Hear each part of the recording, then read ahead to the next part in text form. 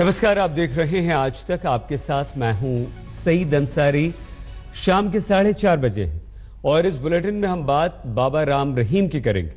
डेरा में तलाशी अभियान के बीच आज तक की टीम बाबा राम रहीम के सिरसा आश्रम में पहुँची और अलग अलग जगहों का जायजा लिया। हमारे संवाददाता सत्येंद्र चौहान बाबा की गुफा के करीब भी पहुँचे, जहाँ आज पुलिस ने छापा मारा था। एक तरफ़ पुलिस जहाँ बाबा की गुफा में घुसी हुई है, गुफा के रहस्य खोल रही है तो दूसरी तरफ़ आज तक आपको दिखा रहा है, दरअसल ये गुफा है क्या? सबसे खास एक्सक्लूसिव तस्वीरें, ये पीछे जो गुंबद आपको दिखाई दे रही है, ये दरअसल बाबा का शाही आवास है।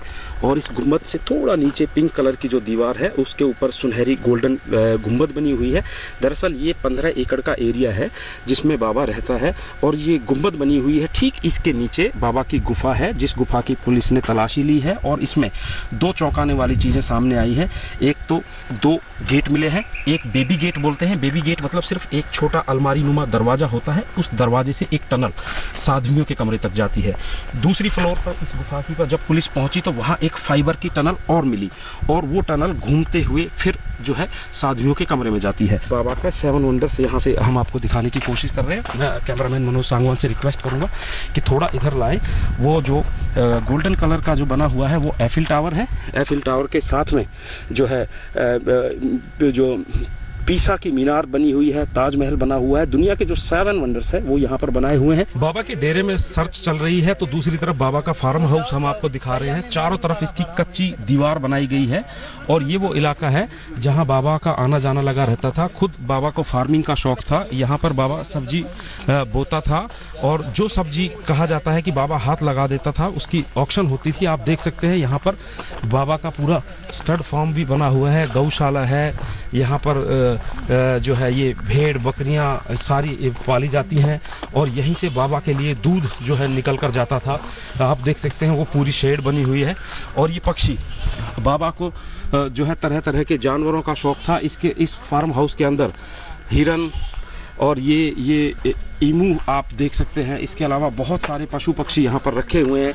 ये एक से पक्षियों के लिए शेड बनाया हुआ है। देख सकते हैं। कि पूरा जो ये है आ, आ, एरिया है इसको कच्ची मिट्टी से बनाया गया है इसकी लिपाई की गई है लाउड स्पीकर यहाँ पर लगा हुआ है और इस पर भी डेरा सच्चा सौदा डीएसएस लिखा हुआ है और ये बाबा की गौशाला है।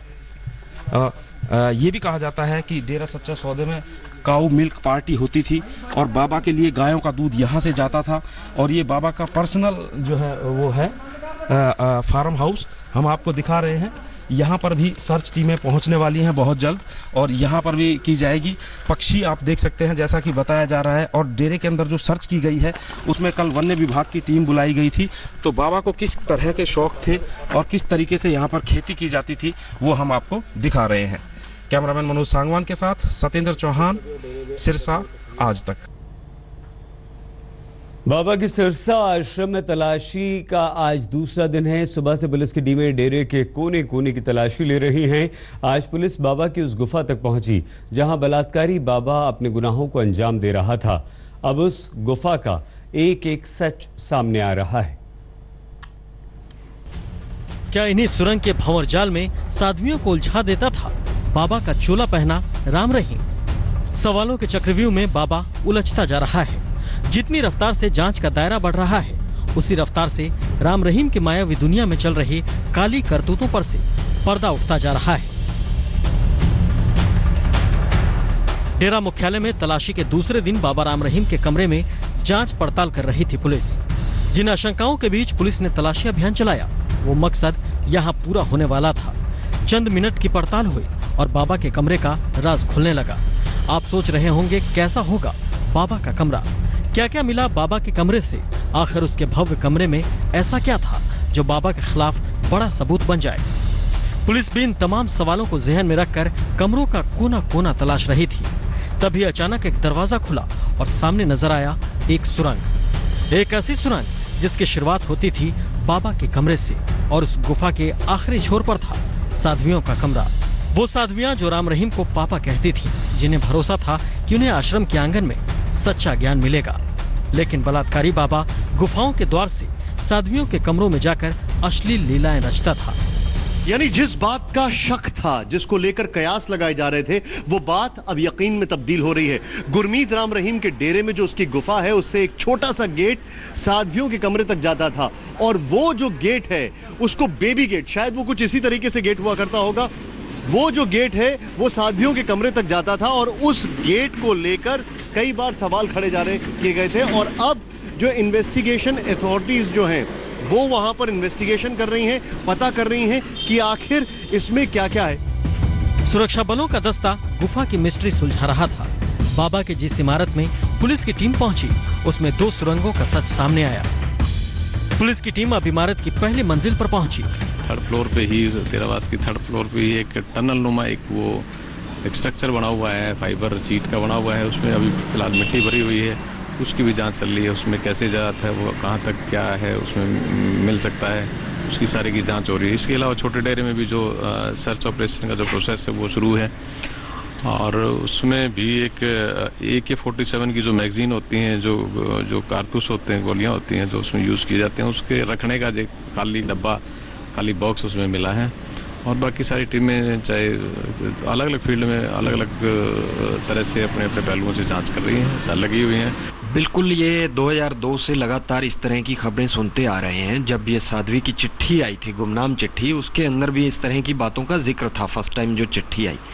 तो उसके बाद मतलब जब ये केस चला अनोनिमस लेटर का सीबीआई इन्वेस्टिगेशन कर रही थी तो सीबीआई इन्वेस्टिगेशन के दौरान इस तरह की चीज़ें सामने आई कि डेरा सच्चा सौदा ने मतलब उस इन्वेस्टिगेशन को भ्रमित करने के लिए अंदर की बहुत सी चीज़ों में बदलाव कर दिया। लगातार दूसरे दिन चली छापेमारी में गुफाओं से पहले सामने आई विस्फोटक की मिस्ट्री जब पुलिस आश्रम को खंगाल रही थी, तब विस्फोटकों की बड़ी खेप बरामद हुई। जाँच में सामने आया कि बाबा राम रहीम अपने आश्रम में पटाखों की अवैध फैक्ट्री चला रहा था और उसमें इन विस्फोटकों का इस्तेमाल किया जा रहा था। छापेमारी के दौरान विस्फोटकों के साथ साथ पटाखे और कई दूसरी चीज़ें भी बरामद हुई। ये जो ढेर सारी बोरियाँ आप तस्वीरों में देख रहे हैं, ये बाबा राम रहीम के उस रहस्यमय डेरे से निकले हैं। ये सारे पटाखे हैं। इलीगल फैक्ट्री अवैध तरीके से पटाखों का पूरा कारखाना अंदर चल रहा था। राम रहीम की उस रहस्यमय इलाके से एक के बाद एक परतें खुल रही हैं और तमाम सच बाहर आ रहे हैं कि कैसे डेरे में हर वो अवैध काम होते थे जिन पर, जिनकी नज़र किसी पर नहीं थी। और ये देखिए, ये आतिशबाजी का सामान है। बड़े बड़े पटाखे, ये डब्बे आपको दिखाऊँ, जो एसआईटी जो बनी है, जो एक भारी भरकम तादाद प्रशासनिक जाँच की जा रही है, वो जब अंदर घुसी डेरे में, कैसे करेंसी पाई गई, हार्ड ड्राइव रिकवर हुई, और तमाम सारी चीज़ों के बीच जब आज दूसरे दिन सर्च ऑपरेशन शुरू हुआ, ये देखिए, पूरा, ये पटाखों का पूरा जखीरा अंदर से बरामद हुआ। तलाशी के दो दिन बाद अभी भी कई ठिकाने ऐसे हैं। जो सबूतों के लिहाज से बेहद अहम है। और वहाँ बाबा की काली करतूतों के कई दफन राज मिल सकते हैं। तलाश जारी है। निशान चतुर्वेदी के साथ सत्येंद्र चौहान, सिरसा, आज तक। और अब बाबा से जुड़ी एक और खबर जो बेहद हैरान करने वाली है। आशंका ज़ाहिर की जा रही है कि बाबा के आश्रम से शवों का सौदा किया जा रहा है। खबरों के अनुसार चौदह शव लखनऊ के किसी एक मेडिकल कॉलेज में भेजे गए थे और इस मामले की गंभीरता को देखते हुए हरियाणा सरकार ने अब जाँच के आदेश दे दिए हैं।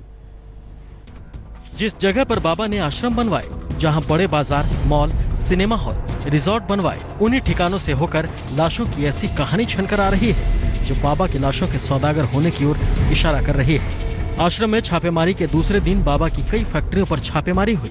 पुलिस ने बाकायदा इसकी वीडियो रिकॉर्डिंग कराई। इस दौरान लाशों के सौदे की खबर ने हड़कंप मचा दिया है। पता चला है कि सिरसा के इसी आश्रम से चौदह लाशें लखनऊ के एक प्राइवेट मेडिकल कॉलेज को भेजी गई थी। बाबा की तिलिस्मी दुनिया से ये नया खेल कब से चल रहा था? उन चौदह लाशों का राज क्या है? ऐसे कई सवाल के जवाब मिलने बाकी हैं। लेकिन इस खुलासे के बाद सियासी हलकों में भी हड़कंप मच गया है। एक एक सच जानने के लिए हरियाणा सरकार ने जाँच बैठा दी है। स्वास्थ्य मंत्री अनिल विज ने लाशों के कथित सौदे की जाँच के आदेश दे दिए हैं। हरियाणा के स्वास्थ्य महानिदेशक सतीश अग्रवाल लाशों पर रिपोर्ट देंगे। तो क्या बलात्कारी बाबा राम रहीम लाशों का सौदागर था? क्या राम रहीम मानव अंगों की तस्करी करता था? महासर्च अभियान के दौरान हुआ है एक चौंकाने वाला खुलासा। दरअसल सिरसा किस डेरे से लखनऊ के एक प्राइवेट अस्पताल में चौदह डेड बॉडी भेजी गई थी। इस खुलासे के बाद हरियाणा सरकार में हड़कंप मचा हुआ है और इस मामले की जाँच के आदेश दे दिए गए हैं। इस बुलेटिन में फ़िलहाल इतना ही। कुछ ही पलों में हम 100 अहम खबरें नॉन स्टॉप हंड्रेड में लेकर होते हैं हाजिर। आप देखते रहिए आज तक।